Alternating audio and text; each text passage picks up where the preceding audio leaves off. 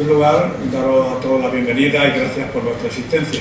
Como todos los años, pues eh, sabéis que impartimos una conferencia siempre eh, tratando, excepto algunos años que hablamos del Greco y de, la guerra de independencia, pero en general hablamos siempre de, cosas eh, que tienen que ver con, nuestro pueblo. Este año, pues he elegido esto, pues ya los, temas se van acabando. Esto no es, no es Madrid, que tiene muchos muchos temas. Y, en fin, eh, he echado mano de un, trabajo que comencé el año 2001 ¿eh? y que sigo todavía perfeccionándolo y, eso ha sido el, trabajo que voy a presentar. Algunos se preguntarán qué, es un árbol genealógico, aunque cada vez habrá eh, menos gente que, que no lo conozca. Bien, pues un árbol genealógico es un documento donde constan principalmente los ascendientes de una persona o familia. Y en él están incluidos los datos de nacimiento, matrimonio, defunción, hijos que deja, etc. Será más completo este árbol cuanto más datos contenga, pudiendo añadir los datos de los descendientes, digamos, a continuación. Últimamente podemos añadir con la facilidad que, hay hoy día con los teléfonos eh, para la fotografía, pues podemos añadir la foto eh, de, algunos de ellos. No, podemos pasar a los tatarabuelos porque en aquel momento no, existía esto. Eh, en general, por la forma de exponer estos datos de los que hemos hablado, que son en forma de árbol, al documento se le denomina árbol genealógico. Bien. Los datos para formarlo, para formar cada uno su árbol, se fundamentan, lógicamente, en trabajos de investigación, ya que generalmente solo conocemos los datos nuestros, los de nuestros padres y los de nuestros abuelos. Y los de nuestros abuelos muchas veces no conocemos los segundos apellidos. Las fuentes en que se basan las investigaciones pueden ser orales, para, mm, con mm, las, preguntas orales, digamos, a nuestro entorno, podemos obtener datos de los más próximos, de nuestros padres de nuestros abuelos, pero no más. ¿eh? Y no hay más remedio que, ir a las documentales. Y estas son, como hemos dicho, imprescindibles. Y los datos de, en las eh, documentales están reunidos en diferentes archivos, eh, siendo los principales los registros parroquiales y los registros civiles. Y a veces a veces pues hemos sacado datos también de los archivos históricos.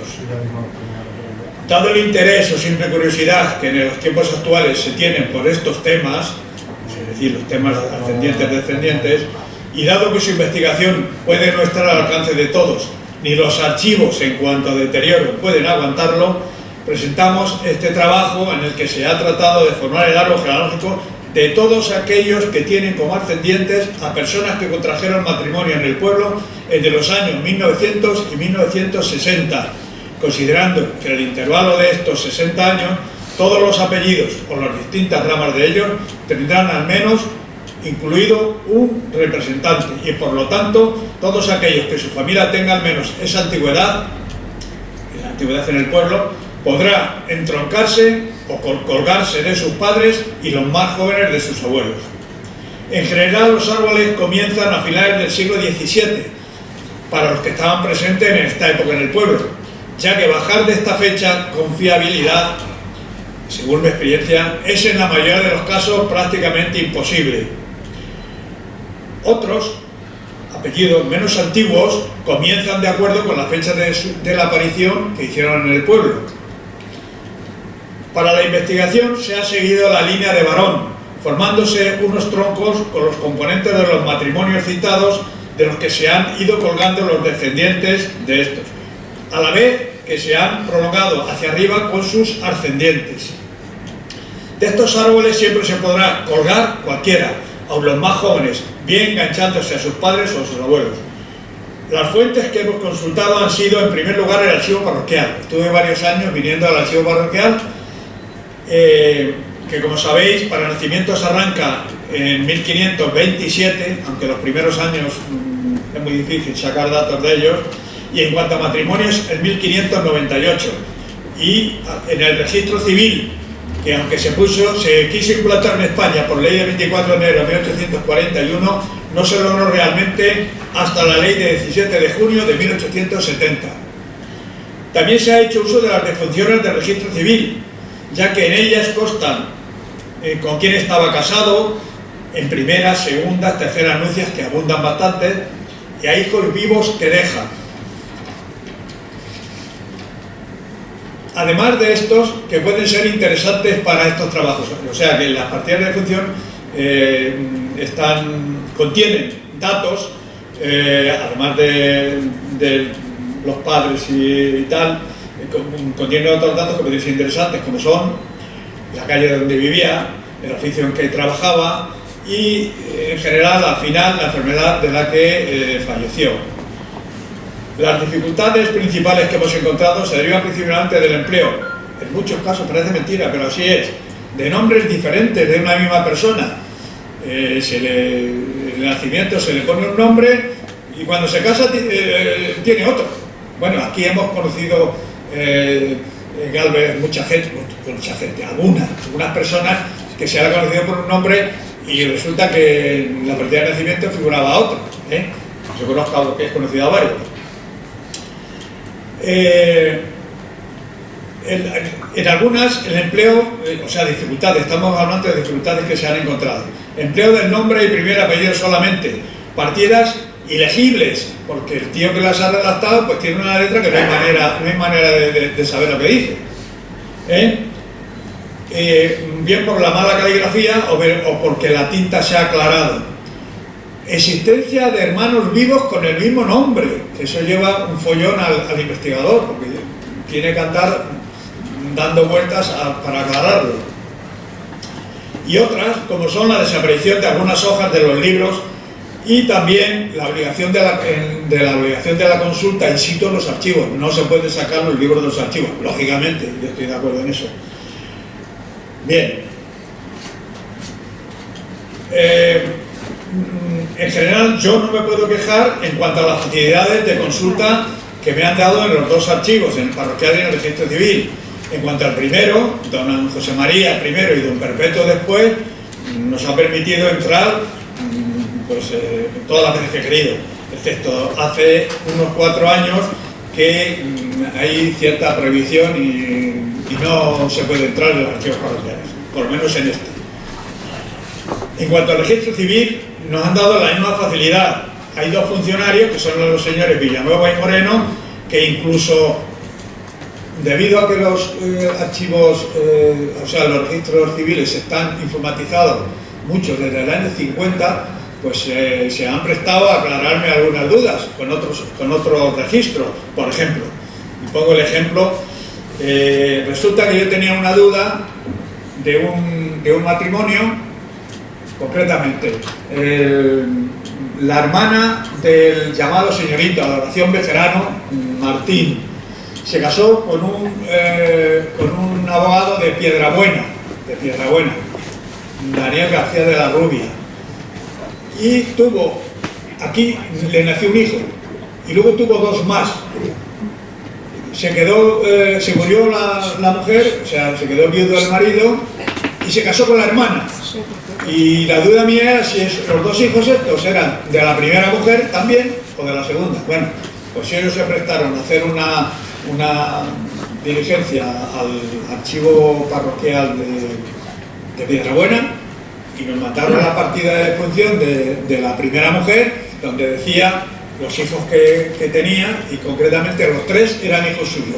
O sea, su hermana no tuvo hijos con el viudo. Bien. Eh, ¿Cuántos ascendientes tenemos en cada nivel? Pues de todos es conocido que a medida que subimos de nivel, nuestros ascendientes se multiplican por dos. Es decir, tenemos dos padres, cuatro abuelos, 8 bisabuelos y en general 2 elevado a n, siendo n el orden de ascendencia correspondencia, correspondiente uno a los padres, dos a los abuelos, tres a los bisabuelos y así sucesivamente. La genealogía eh, estima que cada 100 años viven tres generaciones y por lo tanto en este trabajo que abarca más o menos, más o menos, desde 1700 hasta 1940 estarán reseñadas al menos siete generaciones, que transformadas en número de ascendientes nos dan 64. Es decir, 64 abuelos, abuelas, no, ya no se llaman abuelos, como sabéis, abuelos, bisabuelos, tatarabuelos, trastarabuelos, pentabuelos, sextabuelos, en fin, luego siguen ya los nombres como se numeraban los polígonos. Hay que decir que si hiciéramos los árboles genealógicos completos de todas las personas actuales que llevan como primer apellido algunos de los considerados antiguos en el pueblo, veríamos que los escalones superiores aparecen todos o casi todos ellos, lo que nos lleva a poder aseverar que, ya hice un artículo en su día que se llamaba así, todos somos parientes. Por otra parte, hecho lógico y natural dentro de un municipio más bien pequeño, como, como era el nuestro, durante los siglos XVI, XVII y XVIII, que alcanzó los 3.123 habitantes al comenzar el siglo XX y que llegó a tener en los años anteriores a la Guerra Civil de 1936 más de 5.000, 5.008 pone en la, la estadística. No está más no está de más recordar que nuestro sistema de apellidar a las personas se adoptó legalmente en 1870, el año que se inauguró el registro civil, siguiendo la tradición existente del siglo XVII de usar dos apellidos, el de la familia del padre en primer lugar y el de la familia de la madre en segundo. En caso de personas de hijos naturales, concretamente, que no se conocía el padre, pues eh, este adoptaba los apellidos de la madre.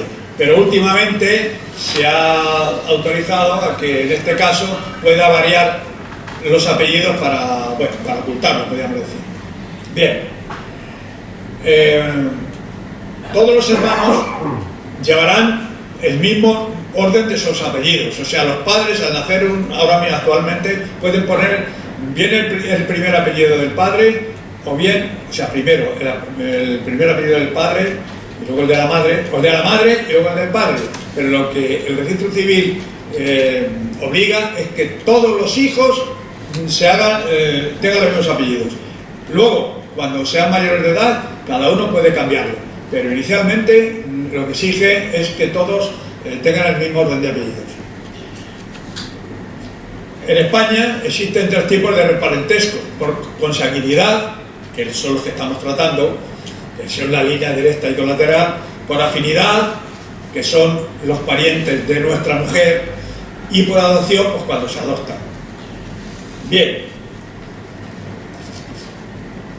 Vamos a ir, aquí concretamente tenemos pues, un árbol genealógico. Aquí no hay más que, aquí están los huecos, en internet podemos encontrar varios tipos de estos árboles. Yo lo que he hecho, no lo he hecho de, este, esta manera, sino que ha sido en un Word, en un procesador de texto, como ahora, veremos lo que os ponga. Aquí yo he cogido un árbol, como ejemplo, pues he rellenado mi nombre, ¿eh? mi nombre y mi ascendiente. Ahí me veis a mí al final, el nombre de mis padres, primer nivel, el nombre de mis abuelos paternos, el nombre de mis abuelos maternos, los padres de mi abuelo paterno, en fin, ya lo veis. Y no más porque ya no da más de sí, pero si diese el árbol más, ramas y tuviésemos más datos, pues yo los podría rellenar concretamente porque tengo los datos. Bien, esto, estos son los ascendientes. El, árbol se completa prácticamente también con los descendientes, si es que se tienen. Pues yo he cogido también, bueno, ya hemos dicho antes que son dos, padres, cuatro abuelos, ocho bisabuelos, seis tatarabuelos, 32 trastarabuelos, 64 pentabuelos y, y multiplicando por dos a medida que aumentamos cada nivel. Bien, pues aquí está mi matrimonio y, mi mujer. Los hijos, y se ha puesto también con quien se casaron. Uno con Paula Ginás García y Victoria Casado. Bien, esto es un ejemplo. ¿eh? y concretamente, este ejemplo, es decir, los abuelos y una persona que tenga ahora mismo 40 o 50 años, perfectamente, sacando no acudiendo a los datos del, del, archivo parroquial, porque resulta que, en fin, que no se puede entrar. Pero en el registro civil yo creo que los funcionarios dan facilidades para, para poder formar cada uno su árbol genealógico, ya digo, por lo menos hasta los bisabuelos.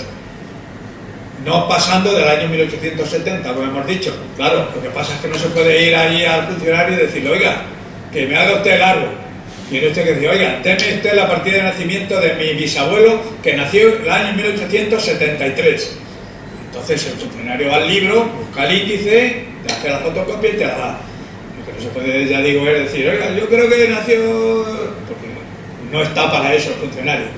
Pero yo creo que los dos funcionarios que hay ahora mismo, eh, llevándoles el año, no tienen ya más que coger el libro, sacar la fotocopia y hacer la diligencia, ponerle al sello y de esa manera se puede formar, creo, perfectamente un, árbol, eh, no completo, pero vamos, bastante, bastante, con ramos bastante arriba.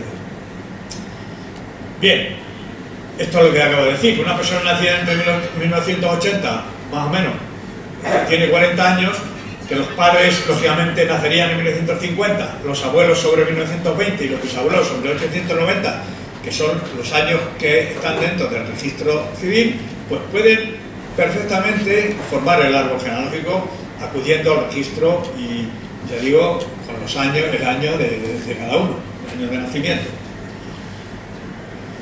El trabajo ¿Cómo comenzó esto? ¿Cómo comencé yo esto? Bueno, pues resulta que el año 2000 pues eh, me pasaron la reserva por años de servicio y dije, bueno, ¿y ahora qué me dedico?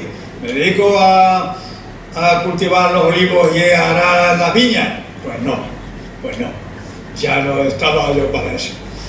Entonces dije, pues voy a iniciar un trabajo eh, a sacar las familias influyentes que yo conocí en los años 50 y, bueno, voy a investigar un poco sobre ellos. ¿Cuáles eran las familias influyentes entonces? Pues la familia de Juan Manuel, ¿eh? las Caleras, la casa del Cotanillo, esa que se está cayendo ahora, ¿eh? los Bejeranos, ya di una conferencia aquí sobre Francisco Bejerano Payo, que ah, en la mitad del siglo XIX, era el mayor terrateniente de, todo el contorno. Tuvo 13 hijos, que los casó a, hijos e hijas, los casó todos con los grandes terratenientes de, los pueblos de alrededor. Era el abuelo del, del conocido como señorito, Adoración Bejerano Martín, el abuelo de él. También había otra familia aquí mm, acomodada, que era Bejerano Aranda, Bejerano Aranda, eh, yo hemos conocido, después de la guerra, bueno, pues eh, de esa familia que eran descendientes, a Juan Vicente, a Juan Vicente, alguno de sonará, y al farmacéutico don José María, que era cogolludo, pero cogolludo vejerano, ¿eh? que de, la, de, la plazolilla, de la, de la, plaza de General Prieto Rivera, ahora Plaza de España. Bueno, pues esa familia empecé a preguntar, no sé qué, no sé cuánto, y de pronto, pues me dice, bueno, ¿y, por qué no en lugar de estos, solo estos, por qué no todos? Bueno, pues dice, bueno, pues venga, pues, pues a todos. Y el cambio de criterio, todas las familias del pueblo. Empecé dando palos de ciego, lógicamente, ¿eh? preguntando, no sé qué, no sé nada, nada preguntando si a, los datos, a los datos, a vosotros. ¿no? Empecé a recopilar datos, pero yo vi que allí no, con eso no se llegaba a ningún sitio. Y entonces dije, bueno, pero vamos a ver, aquí los que nacen, mm, los que nacen no, no tienen obligatoriamente hijos. Los que sí tienen hijos, aunque no es obligatorio digamos, pero vamos, mm, principalmente son los matrimonios. Bueno, pues nada, pues cojo los libros desde 1900 a 1960, 60 luego lo prolongado hasta el 80. Y entonces hago un esqueleto, ¿eh? un esqueleto en el cual están todos los matrimonios celebrados en esa fecha, desde 1900 Y ahí lo único que luego fue rellenar hacia abajo y rellenar hacia arriba. ¿Cómo se, cómo se ha rellenado? Pues últimamente, primero preguntando cuántos hijos tenía, cuántos no sé qué, pero luego me di cuenta que en las partidas de, de función, partidas de función, figura en general los hijos vivos que deja. Entonces eso es una ayuda grandísima, porque y lógicamente pues ya eh, he ido rellenando y prácticamente pues creo que, bueno, es muy difícil que falte alguno, alguno puede faltar, pero en general creo que no, no faltarán. Bien, como hemos dicho, creé un esqueleto de todos los matrimonios. Las fuentes, como hemos dicho, son los archivos. También he acudido no solamente al archivo parroquial de Galvez, sino que acudí porque hay apellidos, por ejemplo Moreno, por ejemplo Avellanar, en fin, algunos que vienen de, los pueblos de alrededor. Entonces visité los archivos de Cuerva, Venta, San Martín, Polar, Menesables y San. Bien, hemos dicho que los archivos históricos también dan algunos datos con los protocolos de los notarios, con los testamentos. ¿eh? No todo el mundo hacía testamentos, solamente, digamos, las familias pudientes, y otras no. ¿eh? Pero los testamentos vienen los herederos, luego era una manera de perfeccionar. Las facilidades las he tenido todas, bueno, excepto últimamente que ya digo que no, que no puedo entrar en el archivo parroquial. Ya intentaré entrar eh, de alguna manera. Bien, esto ¿Cómo es la presentación del trabajo este? ¿Cómo lo he hecho? Pues he dicho que lo he, hecho en Word.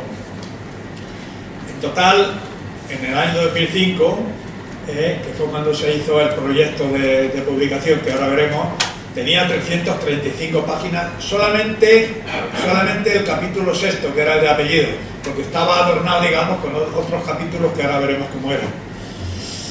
Eh, se tituló inicialmente Descubriendo nuestras raíces.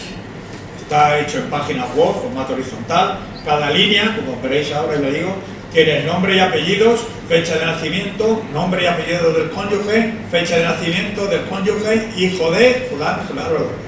La, eh, línea de varón, de la línea de varón, del nombre que es el primero, cuelgan los hijos.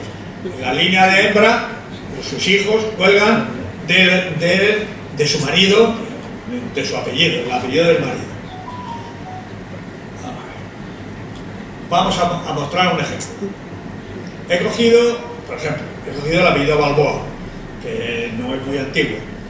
Entonces, aquí el primer conocido, el primero que vino a Galvez fue Francisco Balboa Iglesias, el que está puesto con dos dos, que era herrador y albeitar, es decir, un ayudante de veterinario la, primera fecha donde aparece es en su matrimonio, lógicamente.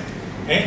Pero bien, su matrimonio dice de quién era hijo, Manuel, y de Juliana Iglesias, que eran naturales, naturales de los Llévenes, y ya ibéricos. Es decir, que Manuel, ya tenemos aquí el primero del árbol, Manuel, tiene dos hijos, 2, 1 y 2, 2, o sea, Manuel tiene el número 1. 2, 1 y 2, 2, cuelgan del 1, son hijos. Este podría tener 17 hijos más, pues tendría 2, 1, 2, 2, 2, 3, 2, 4, 17. 2, 2, que es uno de los hijos, Francisco Balboa Iglesia, eh, que es el herrador este que hemos dicho, tuvo dos hijos, don Manuel, Manuel y Mariano.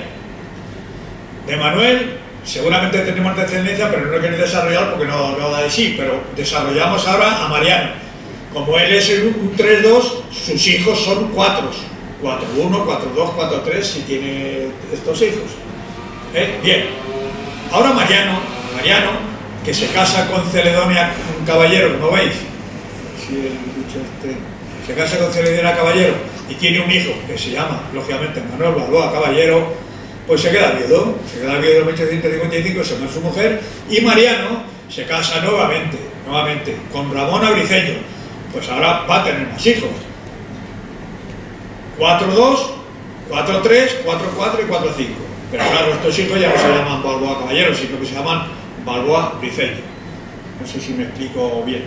O sea que del 3-2, que es Mariano Balboa, cuelga a sus hijos 4-1 de la primera mujer, 4-2 de la segunda, 4-3 de la tercera, pero estos últimos tienen apellido pues, de la segunda. Casimiro Balboa Briceño, el número 4 de los, de los hermanos, pues tiene varios hijos, dos hijas, Eusebia y Gregorio, ¿eh? que se casan con Salvador Bejerano, con Maximiliano, sobrino Martín. Los hijos de estas dos aparecerán cuando aparezca el apellido Bejerano y el, apellido sobrino. Marcelino Balboa Briceño se casó con Antolina Alonso y tuvo estos hijos. Benito, Julián Balboa, Macario Balboa y Juana Balboa, que todos, por lo menos los que tenemos ya unos años, conocido. ¿eh? Aquí he puesto, por ejemplo, la descendencia de Julián Balboa. Carmen, Aurelia, Sagrario y Julián Balboa. Bien. Otro ejemplo, un poco más, pongo aquí.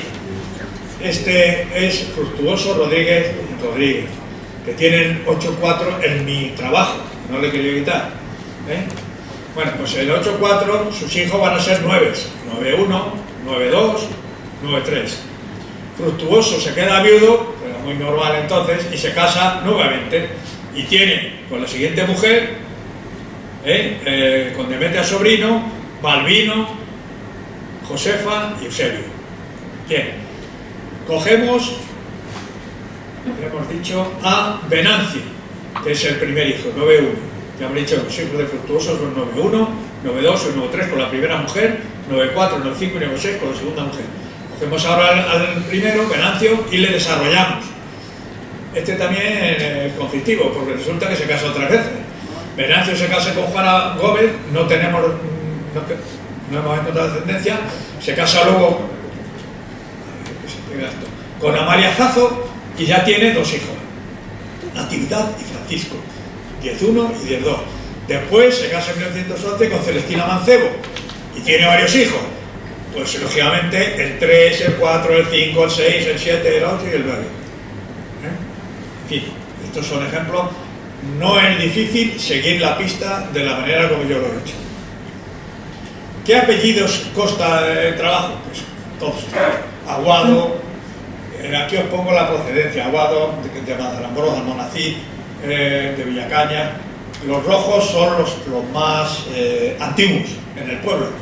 Alonso, Barroso, Bermúdez, Braojo, Criceño, Cocuyudo, Corroto, Espinosa, Flores, Espinosa que ha desaparecido, Flores, Galán, Galán, bueno, procede, varias procedencias, de Galvez, de Benasalva y de Pulgar, Gamero, en fin, más apellidos, Linares, López, Martín, Ortiz, ya digo que los de rojo son los de mayor. En total son 120 apellidos, que seguramente actualmente hay alguno más, porque si aparece alguno, pues, pues eh, lo voy desarrollando también. Bien, eh, páginas que ocupa el trabajo.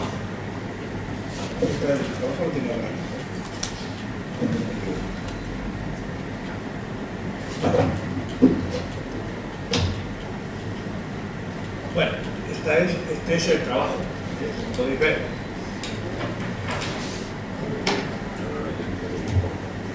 Páginas que, contiene el trabajo. Solamente el, capítulo sexto que hemos dicho, que es el de los apellidos. Tiene 442 páginas horizontales, pesadas, con 222.248 palabras y 16.775 líneas.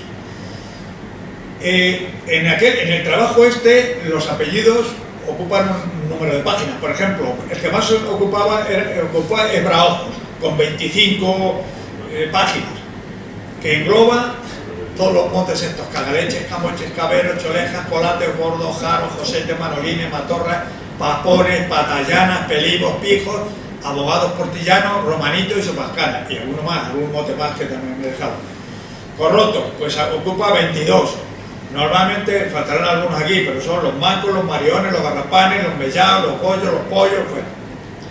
Martínez, son varias procedencias, 21, pero son Martínez varias procedencias. Principalmente son Martín de Galavez y Martín de la Huerta. Martín de Galavez y Martín de la Huerta son las procedencias de los Martínez. Luego han venido, han venido otros, como por ejemplo Martín, el tío Fermín, el de la los Fermines, vamos, como que tenían una una esta, coño. A ver, decírmelo fuerte porque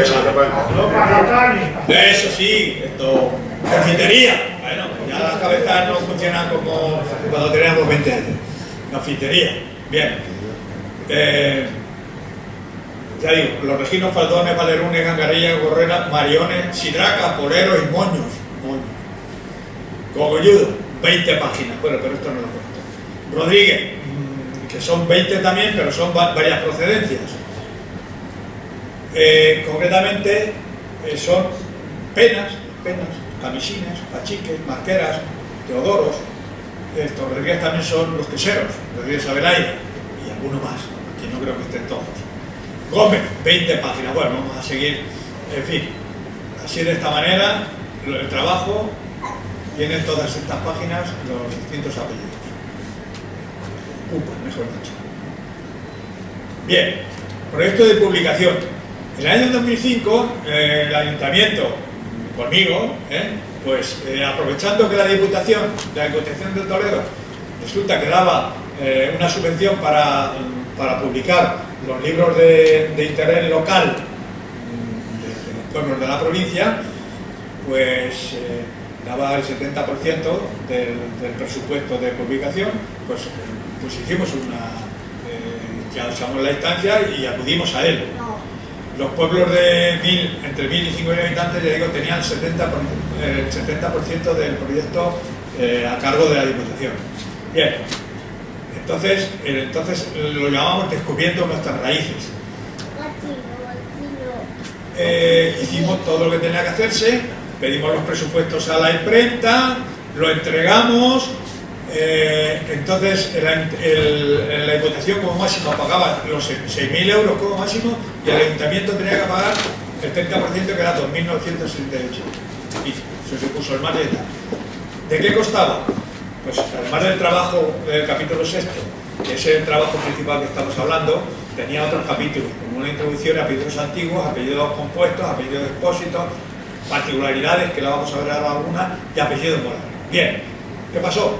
pues que en el momento de presentar nuestra solicitud gobernaba la Diputación el Partido Popular y cuando, pasó un año, pues eh, eh, pasó al Partido Socialista y nos dieron larga, larga, larga, total, que al tercer año ya fui yo y retiré el proyecto porque no, no, lo, no lo hacía. Bien, esta era la, la portada que yo puse, ¿eh? lógicamente me puse a mí. Una generación, mi hermana y yo, otra generación, mis padres, otra generación, mis abuelos, reales, y una fotografía que agarré que no sé de, quién, de quién son. Podría ser vuestros bisabuelos, de alguno. ¿eh? En fin, de esta manera era, era la presentación del trabajo, la, primera página. Bien, eh, a lo largo de las investigaciones que, que he ido haciendo de los apellidos, pues he encontrado particularidades en el sentido de los cambios de apellido durante el siglo XVII, XVIII y XIX, pues hay apellidos, bastantes apellidos compuestos. Y, luego resulta que se quedan, estos apellidos compuestos se quedan en simples, uno coge, unos cogen el primer apellido y otros el segundo. Aquí vemos el ejemplo. Gómez Bravo se queda en Bravo, Sánchez Bejerano, en Bejerano, López Cogulludo en Cogulludo, Sánchez Corroto en Corroto, Gómez Cuartero en Cuartero, Gómez Avellanar en Avellanar. Hay algunos más. Y otros, ejemplo, García de Rojas, López Dávila, Alonso de Cuerva, Rodríguez de Paz, pues resulta que cogen el primero y se quedan así el primero. Bien. Eh, especial, especial interés, podríamos decir, eh, tienen el apellido Cruz. Aquí hay multitud de apellido Cruz, pero no todos proceden de lo mismo. Hay una fuente que es, las tres son expósitos. Eh, el primero se llamó Guillermo Laguna, que luego degeneró en Cruz. ¿eh? Otro, Julián de Santa Irene, expósito también. Y otro, Pedro Salamanca, expósito también. Pues los tres acabaron en cruz. O sea, desaparecieron lo de Laguna y Santa Irene y Salamanca desapareció. Otro caso es el eh, Valparaíso, Malparaíso, que una vez aparece eh, Malparaíso y otra vez aparece Valparaíso. ¿eh? Cambio de apellido. Pues, pues, por ejemplo, Pereira es un apellido que procede de Portugal. ¿eh? Inicialmente era Pereira, luego fue Pereira pero Sirí y al final se quedó en Perea. Perea ¿eh? Gamero. Gamero es un apellido también del siglo XVI antiguo, pero este vino de Madrid, un tal Juan Gamero, de Madrid, de Madrid. Inicialmente su apellido era Gamero, se casó con Ana González Segorbe, y sus hijos, lógicamente, fueron José Gamero Segorbe. Pero a partir de ahí hicieron a Gamero Segorbe como compuesto. Sus hijos, su hijo, su nieto, su otro nieto y tal. Y al final ya se quedó Paulo, o sea, Pablo que fue hijo de Felipe y lógicamente tataranieto de este, pues se quedó en Pablo Segorbe Martín y Segorbe sigue el apellido como Segorbe. Actualmente, es decir, que era Gamero Luego pasó a Capero Segorbe y al final se, casó, se quedó en Segorbe. Alonso Pérez, pues prácticamente le pasa lo mismo. Juan Alonso Pérez casó con María Galán, Casildo eh, se llamó eh, ya se casó, eh, digo, se le filiaron como hijo de Juan Pérez, no de Juan Alonso Pérez, sino de Juan Pérez y de María Galán. Luego, lógicamente, los descendientes ya de Casildo, pues fueron todos Pérez y ya no fueron ninguno Alonso Pérez. Sánchez de la Peña y Peñas son dos apellidos totalmente distintos, pero mm, de buenas a primeras, Sánchez de la Peña mm, se queda en Peñas. ¿eh? Manuel Peñas, Manuel Peñas Tello, hijo de Nicanor Sánchez de la Peña y de Julián Tello. Es decir, ya los descendientes de Manuel Peña, aunque deberían haber sido, deberían haber sido Sánchez de la Peña, ya se quedaron en Peña confundidos con los procedentes de, Peña. Otro apellido, Volando, Volando. ¿Alguna habrá visto por Toledo alguna, alguna furgoneta, algún camión que pone fruta? Volado, volado. Bueno, pues no es volado. La procedencia es volando, volando con B. era un expósito ¿eh? un expósito que sus descendientes, concretamente eh, Cristiano, me parece que se llamaba, pues se fue a, Toledo y sus hijos ya se inscribieron como Volado y así está el apellido en Toledo de Volado eh, con el mismo nombre. Esto parece mentira que pudiese existir porque existía la costumbre de que si un niño un niño o niña moría párvulo a los 7 8 años pues al siguiente hijo que tenían le ponían el mismo nombre, pero nunca, lógicamente nunca eh, coincidían los nombres, porque uno, había muerto. Pero aquí tenemos varios casos de que, de que, bueno, por ejemplo, José Barroso Barroso, el mayor, y José Barroso Barroso, el menor. ¿eh? Juana Robles Sánchez, mayor, Juana Robles Sánchez, menor. Concretamente, Juana Robles Sánchez es mi bisabuela por parte de madre casado con Mariano Manrique, el Pichón, la familia Pichón. Gregorio Robles Linares, mayor, y Gregorio Robles Linares, menor. Pues los Gregoritos, pues igual. Podíamos sacar más, ¿eh? No es que abunden, pero podíamos sacar más. Hermanos inscritos con apellidos distintos, pues también existen. Esto es un follón para el investigador. Leonardo Rodríguez Cruz y Clemente Rodríguez Sánchez según aparece en la partida de hijo de Leonardo Rodríguez Corroto y de Antonia Teodora Sánchez Cruz. Una, el, el, el, amanuense coge el apellido de la madre eh, Sánchez y en el otro coge el, siguiente, Cruz. Apellidos distintos en nacimiento y matrimonio, esa es otra, esa es otra. Mariano Blanco Soledad, partida de nacimiento. Mariano Blanco Acosta, cuando se casa, con Marcelina, tal. ¿Por qué? Porque su madre se llamaba Ignacia Acosta Soledad y coge un apellido primero y luego el siguiente apellido. ¿eh? O sea que una hermana le pone el apellido de la madre el primero y el otro el segundo. Este es otro caso. Lógicamente murió eh, porque nació en 1908 y murió en 1910, de niño. Pero eh, este niño tenía el apellido Martín Martín y sus padres le pusieron de nombre Martín, también tiene la cosa gracia. Hijo de Baltasar Martizazo y de Hilaria Martín Barroso. Debe ser familia del señor presidente de la cooperativa. Bien, vamos a seguir. Otro caso curioso. Blas Corroto López y Blasa López Benavente nacen el mismo día y se casan. ¿eh? Nacen el 3 de febrero de 1883. Luego se casan tres hermanos con tres hermanos. Pues también existe. Juan Rodríguez Martí, Pedro Rodríguez Martí, que son los penas, Julián Rodríguez Martí, casado con Justa Braujos López, Eugenia Braujos López y Agavita Braujos López. Braujos, Braujos. Hay que tener en cuenta que las, los tres hermanos, estos son tres hermanos y estos son tres hermanas, pero la última solamente es hermana de padre. ¿eh? Ellos son hijos de Domingo Pena y ellas son patallanas. ¿eh? Braujos. Este otro caso curioso el tío Pedro, me parece que lo llaman Pedro, que es, eh, que vive en Totanés, es el, el yerno de, de, de, de Lanas, ¿cómo se llama la de nombre? Charriche, bueno, bien, bien, bien. Pues este, la partida de este resulta que aparece al inicio de la partida de nacimiento por, pone Pablo Alonso Martín el día tal, no sé cuánto, nació un niño, tal, tal, tal, son sus padres, tal, son sus abuelos maternos, tal, son sus abuelos paternos, tal. Y al final dice, y se le puso por nombre Pablo, cojonudo. Lógicamente, el nombre, bueno, el, nombre verdadero, digamos, es el nombre que consta en el cuerpo de, del escrito. El primero, que yo creo que yo creo que pone Pablo y luego pone Pedro, pues el, que vale debe ser Pedro. ¿eh? Y así se le reconoce. Pero lo que quiero decir que es una cosa curiosa. Este adoración al loco pues está afiliado como hembra. Con el nombre de adoración, pues el, el escribiente se confundió y le puso una niña en lugar de un niño. Pero tampoco tiene mayor, importancia. Aquí vemos otro caso curioso. Dos mellizos que tienen diferente eh, fecha de nacimiento. Y yo ¿cómo es posible esto? Pues sí, uno nació a las 23 horas del día 9 de julio y el otro tardó cuatro horas más en, nacer y nació eh,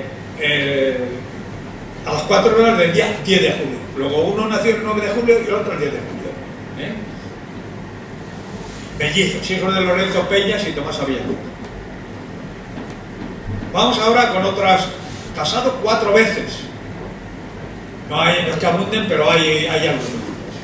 Pues este, José Antonio Bejarano Rodríguez, casó primero María Alonso de Cuervo, luego León Zapallo Rodríguez, luego María Estrella Fernández Gómez de y luego con otra, Petra Fernández Ceniceda.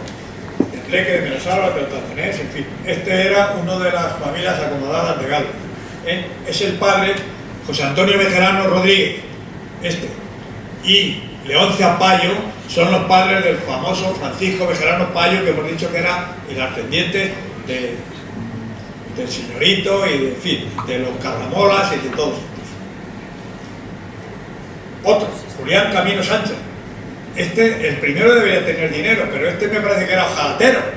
Pues nada, también llevo el tío a casarse cuatro veces, entonces que estaba, estaba muy, muy solicitado. ¿eh? Cuatro veces. Laureano Vázquez García, cuatro veces también. Otro caso especial es el que viene a continuación, que son los dos cónyuges se casan en tercera nupcia, es decir, lo mismo la mujer que el hombre es la tercera vez que se casan. Ahí tenemos dos casos concretos, Odón Avellanar Corroto y, Damaso López Cogolludo. Eh, el primero casado con Ildefonsa Cogolludo, también viuda en segunda nupcia, y la segunda Rosa Martín Alto Escobar, viuda en segunda nupcia. Es decir, que llevaban tres matrimonios cada uno. Estos son, bueno, eh, tres hermanos. Antes, la mujer, la mujer sobre todo, si no tenía bienes, pues lógicamente se quedaba viuda y se quedaba desprotegida. ¿Y qué era su protección? Pues casarse otra vez. Pero aquí tenemos, por ejemplo, a tres viudas jóvenes, en general, que hemos conocido, algunos las han conocido, que no se volvieron a casar. ¿Por qué? Porque tenían bienes, ¿eh? y no tenían por qué aguantar a otro hombre. Bien, estas eran hijas de Domingo Trifón, Motemanco y Virginia. ¿Cuál era? Tenemos uno que todavía vive, Benito. Modesta, la tía Modesta Lamanca, casada con Casiano Bermúdez Lumbrera, cacero, ¿eh? cacero, de la industrial. Murió joven, ¿eh? como veis, a los 30 años, ¿eh? de una peritonitis aguda. Entonces se quedó viuda y tuvo esto Benito y Pablo, que son los hijos, que tenían unos 5 años, el otro 3. Otra hermana, Victoria Corroto Martín, casada con Félix Caballero eh, Bejerano, de Monte Cantero, labrador, de una bronconeumonía, también murió joven, a los 42 años. También tuvo un hijo solo que es Plácido, conocido. Otra, Benita Corroto Martín, casada con Miguel Bejerano Vázquez, Fernandín.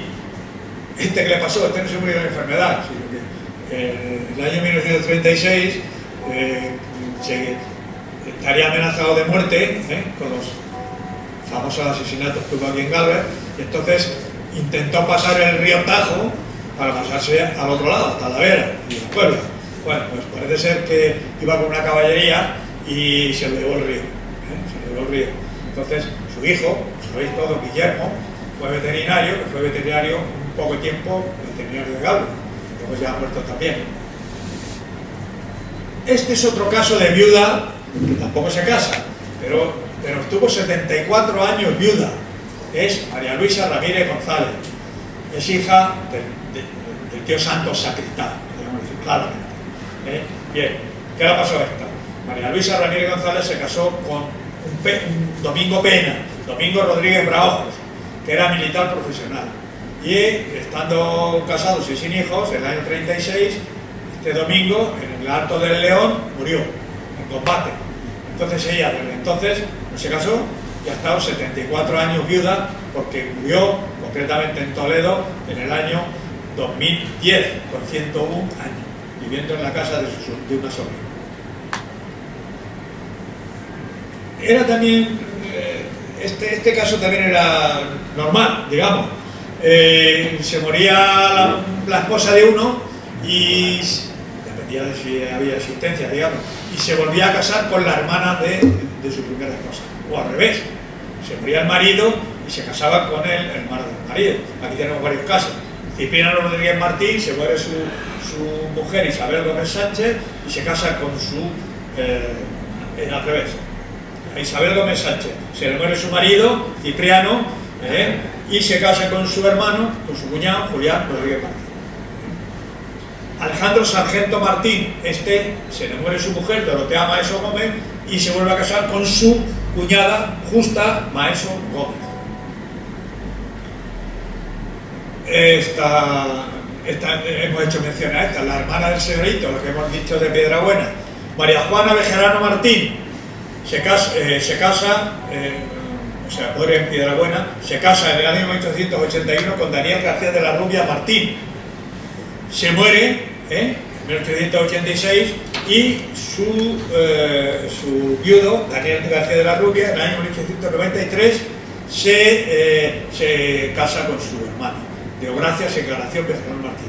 Ya hemos dicho que los tres hijos que tienen son de la primera mujer, que son los que después de la guerra parece ser que vinieron a Galvez y como heredaron toda la hacienda del señorito de Adoración Bejerano, de su hermano Emilio, que era el soltero, y de su, su madre y de su tía, ¿eh?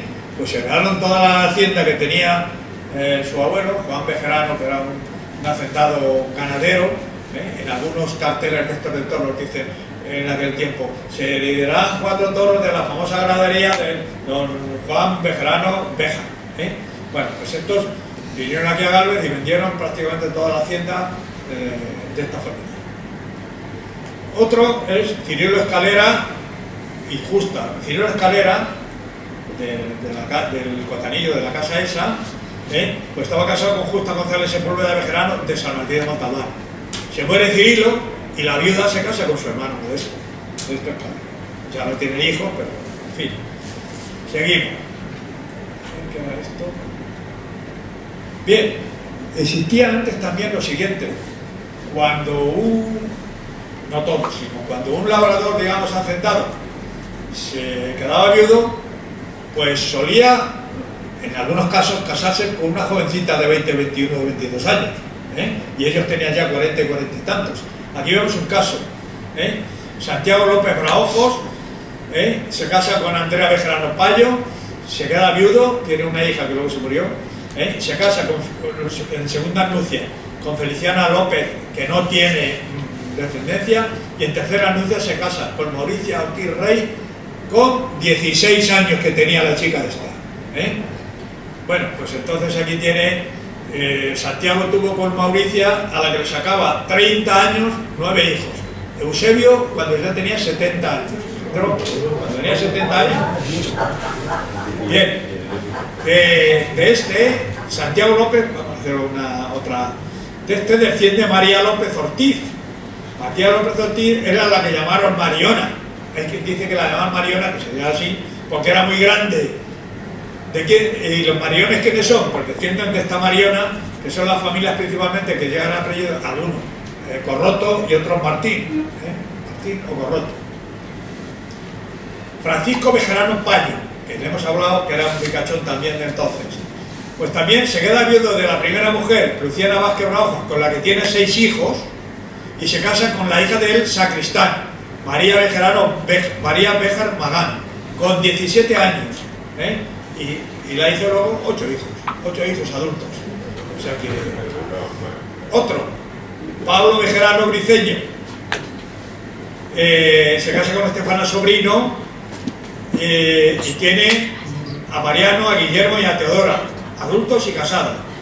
Luego se casa con una expósita, Dionisa Flores eh, Expósita, con 21 años y tiene pues otro, Eusebia, Benita, Petra y cuatro más.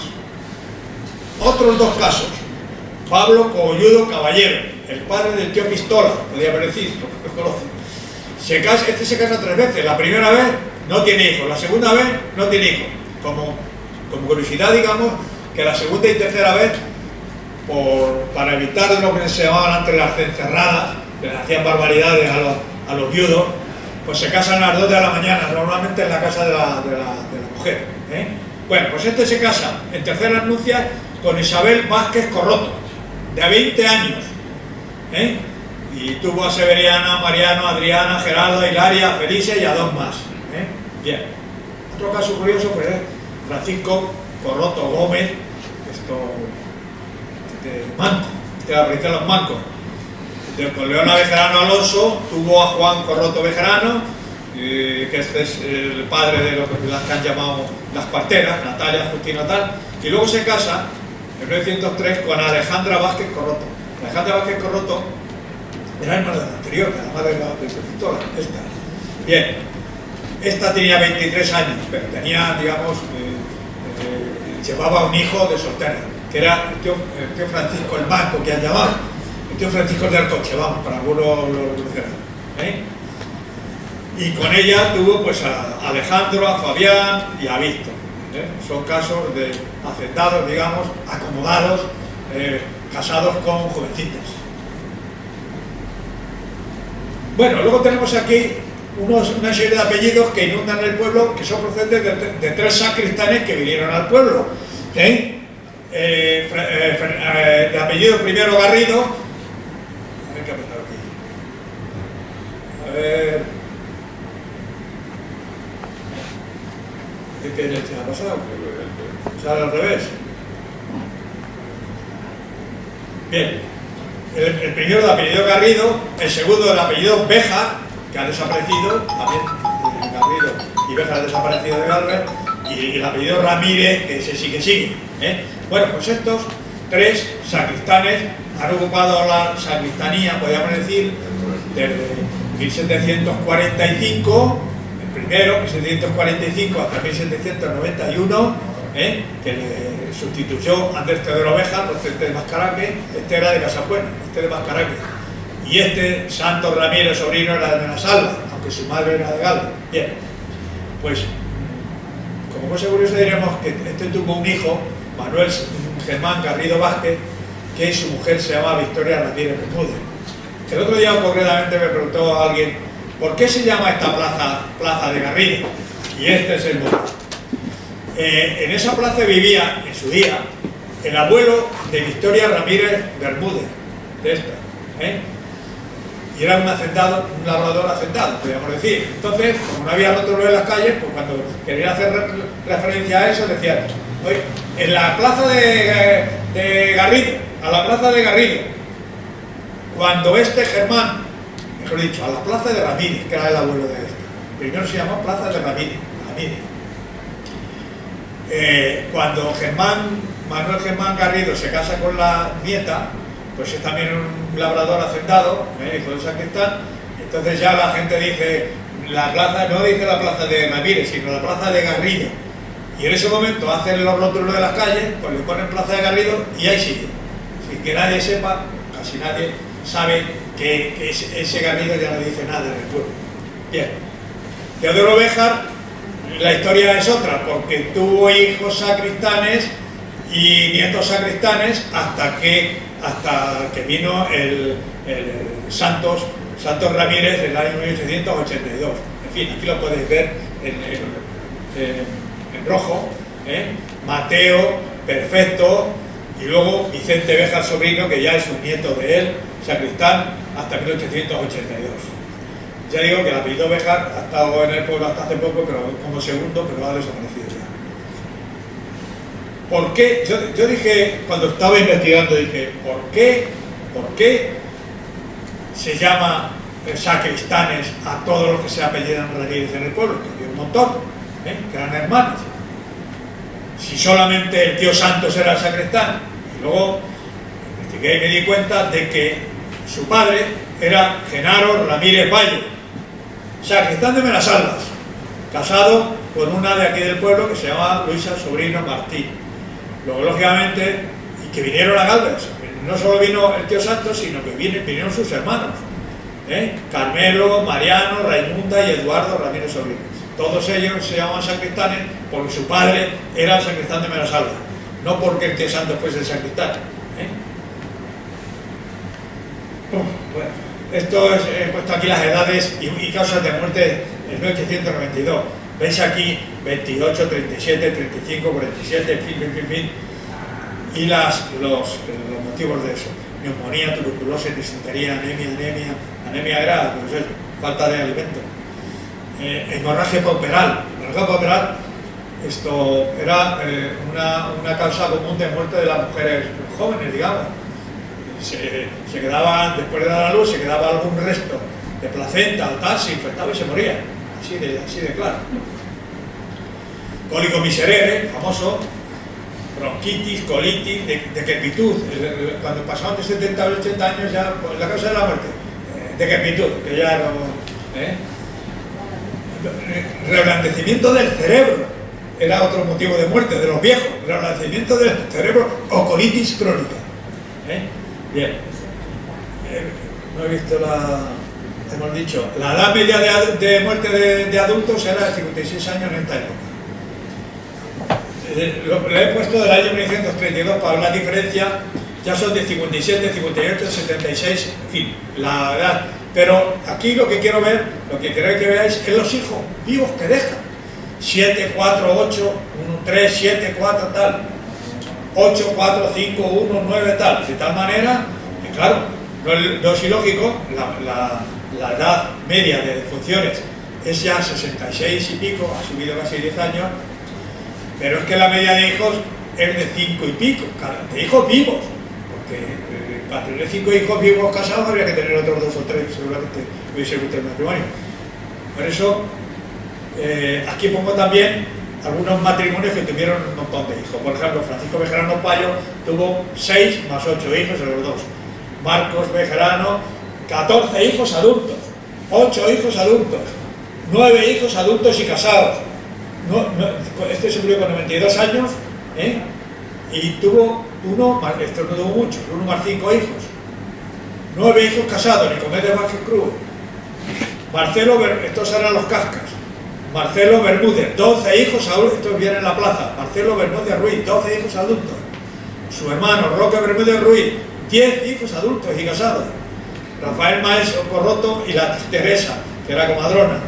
Nueve hijos casados también.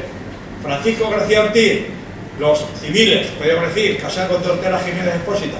Diez hijos casados. José Barroso, Barroso, también tuvo ocho más tres hijos, que se casó dos veces, mayor. No es ilógico entonces pensar que si la población de Galvez en 1896 era de 3.023, pasase en 1930 a 5 y pico. Luego resulta que muchos han emigrado de aquí y se ha quedado sobre 3.000, 3.000 años. Jueces de paz. Bien, pues eh, de las partidas se pueden sacar los jueces de paz que había y los secretarios. ¿eh?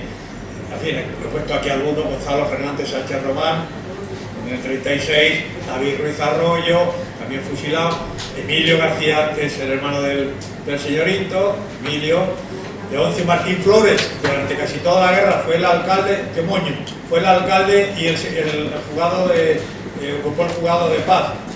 Y al final, pues después de la guerra, que no sé si tenía alguna, algún motivo, le cancelaron y murió en la cárcel. En la cárcel, en el año 42. Bien.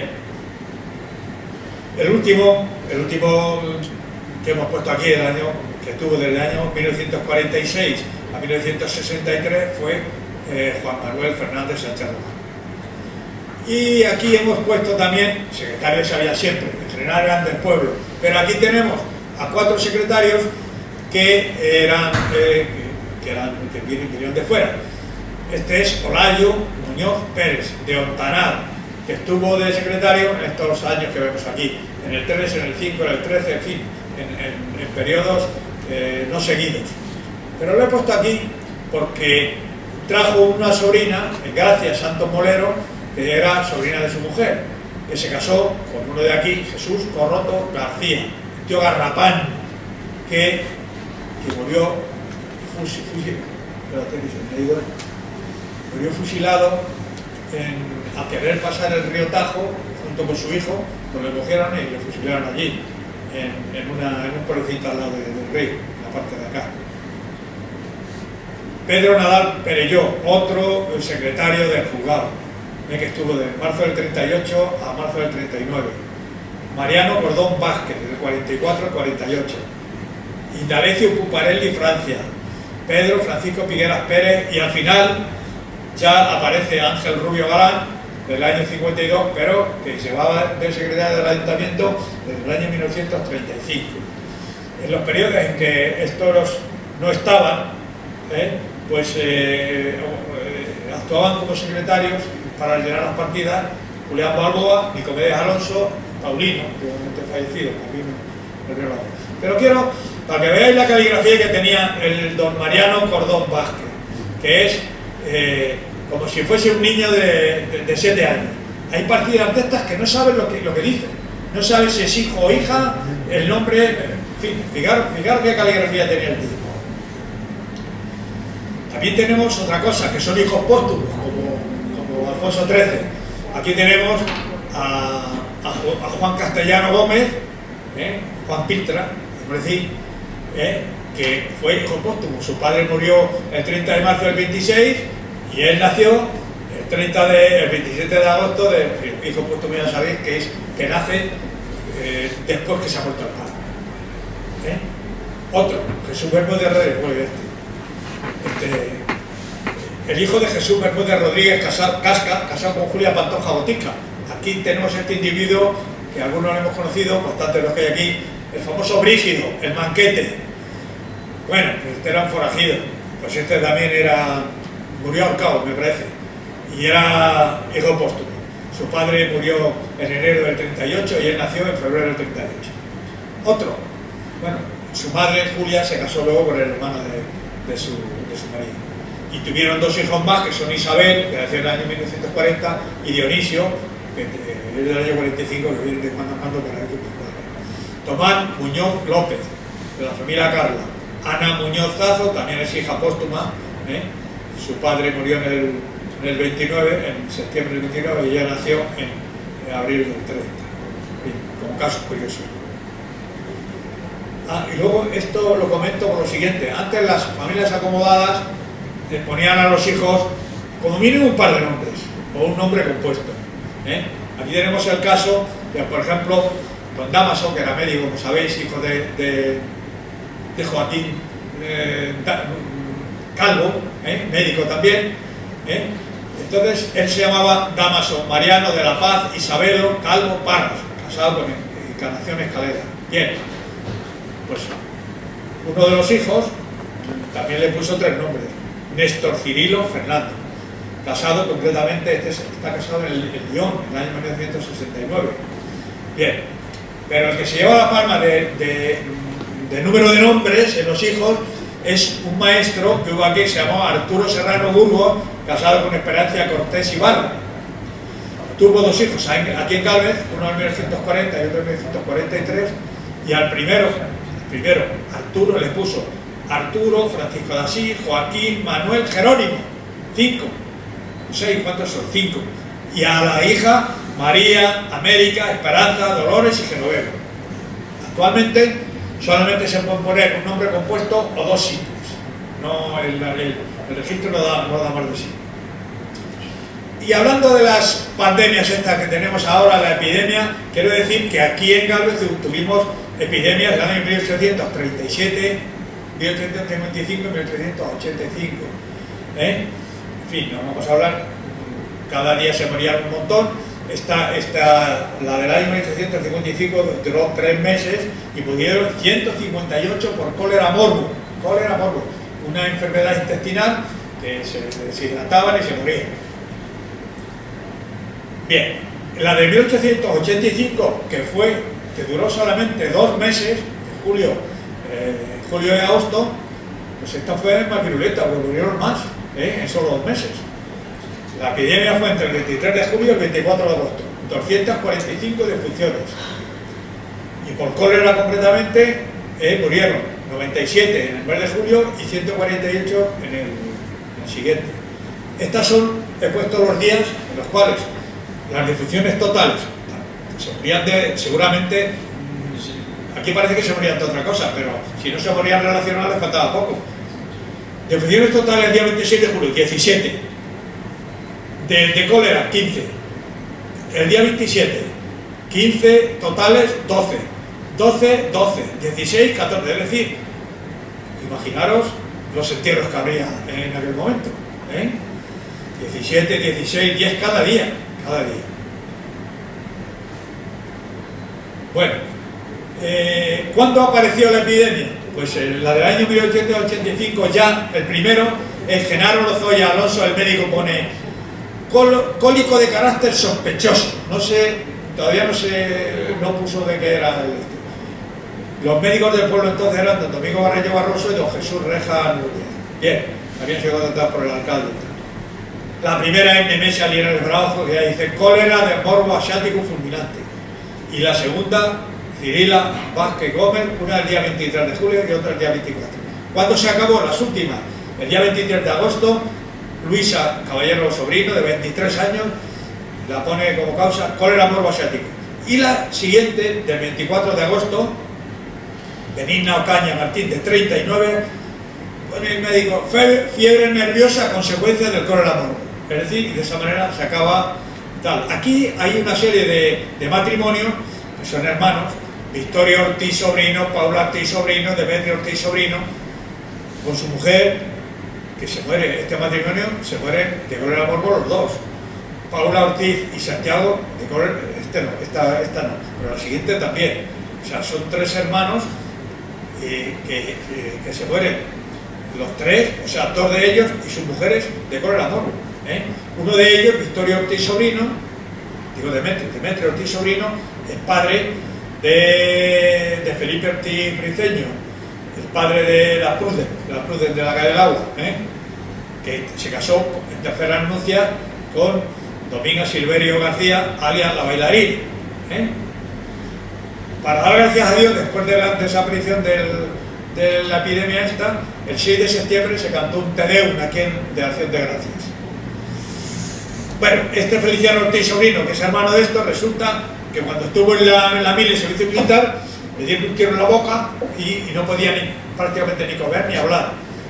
Y en el año 1920 se suicidó en su casa siendo soltero, debía vivir en la calle José Antonio, en la casa de los, de, los por ahí, ahí vivía, en una habitación.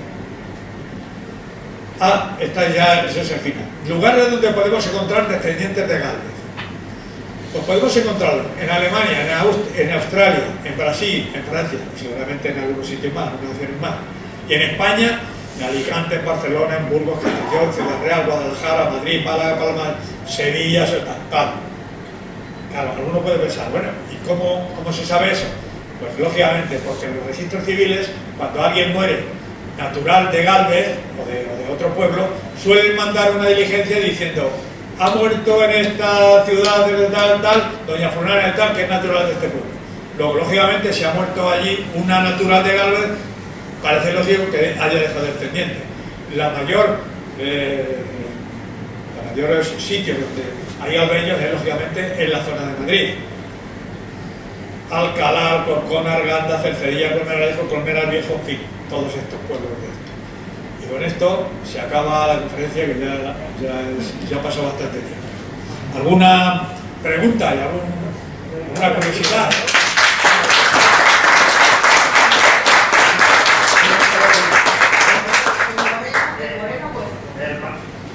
El maestro don Arturo. Don Arturo, sí. Solo se conocía una hija, Escucha, es que el hijo del se murió. El hijo que ha habido aquí, que nació en Galvez, se murió a los dos años. Ah. Aquí nacieron los dos, la hija y el hijo. El hijo se murió el primero. Solo vivió la hija. Sí, bueno, no sé. Mi hermana sí dije que había una que se llamaba, el segundo nombre, eh, como en América. Sí, sí, América la Bueno, pues ya tenía cinco nombres. Se podía haber llamado América o Genoveva. Sí, sí, bueno, pero que Ameriquita es como la llamaba. Bien. ¿Qué, qué me decía? Pero era un... El moreno vuestro. Me parece que es de. Estoy seguro de ventas ahora mismo. Lo pedíamos. Me parece que es de Yo, ventas. por ejemplo, Ventas. mi moreno, yo soy moreno de, de primer apellido. Sí. Que mis hijos son como vosotros, blanco moreno. Pero mi moreno viene de Granada. Tu currículum viene de Granada. De Granada porque mi bisabuelo se, era de Granada y luego pasó a la Carolina Jaén. Ya te lo, ya te lo, ya te, ya te lo miraré, ya te lo miraré. El, mi, mi moreno, nuestro moreno, viene, me parece que es de ventas. Los míos ¿Eh?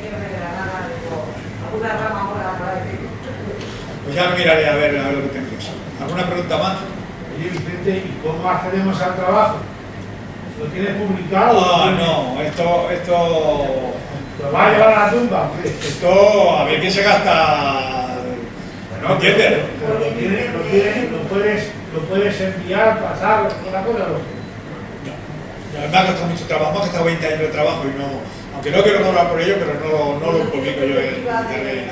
Si a través de la alcaldía, bien. Aparte de, de esto, esto puede chocar con los famosos datos y tal, eh, protegidos y tal, en fin. Si en caso de que se publicase, digo yo, así por, que habría que tachar a los, a los vivos. En fin, con eso no pasaría nada, porque se quedaría el esqueleto hecho, de manera que las personas vivas podrían engancharse bien al padre o bien al abuelo, porque los datos de su padre y de su abuelo los conocerían, ¿entiendes? En fin, pero que no lo, yo no lo cuelgo de internet. Para investigación, si quieres buscar, es que dijo Pepe que lo dejaba ya. Me lo vas a decir a mí, que llevo tres años intentando entrar y no... Va a haber que- va a haber que- Yo, por ejemplo, yo sé que mi familia, de, y la- toda la familia de parte de mi padre no es de aquí, pero toda la parte de mi madre sí. Entonces digo, me gustaría saberlo, digo, pero me dice que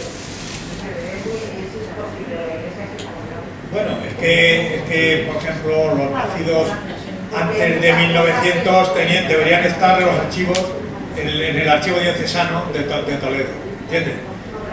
Y- y lo tiene aquí. Ha de la vida, no es. Bueno, si no es diligencia judicial, si hay diligencia judicial, sí, pero si no...